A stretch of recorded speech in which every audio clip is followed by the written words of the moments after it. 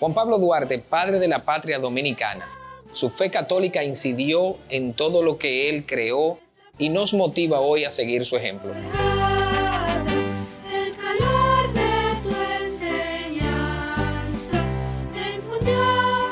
El escudo de la República Dominicana es uno de los símbolos patrios que nosotros debemos respetar, cuidar y conocer. Aquí en el Instituto Duartiano usted puede aprender del diseño, de la idea que Juan Pablo Duarte hizo sobre este símbolo. Juan Pablo Duarte ideó el escudo nacional dominicano. Observarán arriba las palabras sacramentales, Dios, patria y libertad. Observaremos también el azul significa el azul del cielo, el rojo la sangre derramada por nuestros héroes nacionales, el blanco la paz y la unión de todas las razas. Dentro de la Biblia abierta hay un versículo, Juan 8, 32. Y conoceréis la verdad, y la verdad os hará libre. Observarán también palma y olivo, que significa victoria y triunfo. Luego abajo observarán República Dominicana.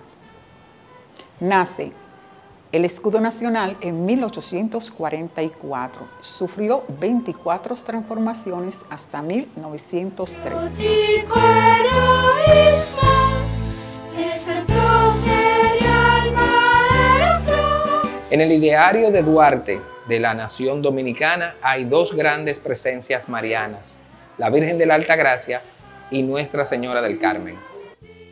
El 16 de julio de 1838 funda junto a jóvenes valientes la Sociedad Patriótica conocido con el nombre de la Trinitaria, en casa de doña Josefa Pérez de la Paz, doña Chepita. Esta casa estaba ubicada en la calle del Arquillo, hoy Arzobispo Noel, frente a la iglesia del Carmen. Mientras los feligreses celebraban los oficios religiosos correspondientes a la conmemoración del Día de Nuestra Señora del Carmen, los jóvenes convocados por Juan Pablo Duarte suscribían con su sangre, pinchándose cada uno en un dedo, el sagrado compromiso de aunar sus esfuerzos hasta alcanzar la expulsión haitiana del territorio dominicano, cuya abominable invasión se sentía desde el 5 de febrero de 1822.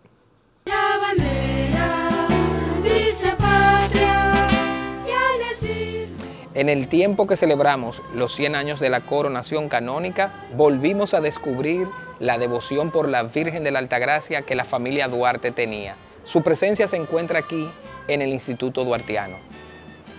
La historia relata que el lunes 16 de julio de 1838, día de la fundación de la Trinitaria, doña Manuela Díez puso en el pecho de su hijo una medalla de la Virgen de la Altagracia, trajeada con los colores que luego fueron distintivos de los símbolos patrios.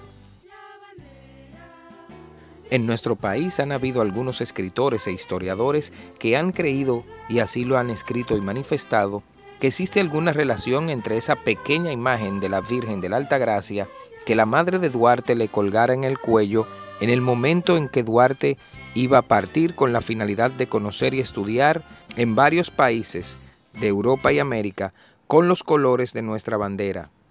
Si se toma en consideración que los mismos colores que tenía dicha imagen son los mismos colores que tiene nuestra bandera nacional.